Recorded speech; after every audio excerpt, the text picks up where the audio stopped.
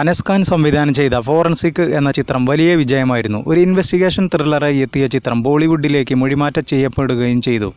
ഇപ്പോൾ ഈ ടീം വീണ്ടും എത്തുന്നു എന്ന സന്തോഷ വാർത്ത ടോവിന തോമസ് തന്നെയാണ് പങ്കുവച്ചത്. അഖിൽ പോളും അനസ് ഖാനും ചേർന്ന് സംവിധാനം ചെയ്യുന്ന ചിത്രം രാജു മല്യത്താണ് നിർമ്മിക്കുന്നത്. ഐഡന്റിറ്റി എന്നാണ് ചിത്രത്തിന് പേരിട്ടിരിക്കുന്നത്.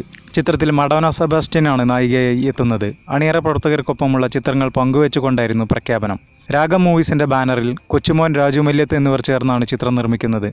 ആക്ഷൻ ത്രില്ലർ വിഭാഗത്തിൽ വരുന്ന ഈ ബിഗ് ബഡ്ജറ്റ് ചിത്രം എറണാകുളം ബംഗളൂരു മൗറീഷ്യസ് എന്നിടങ്ങളിലായിട്ടാണ് ചിത്രീകരണം പൂർത്തിയായത്.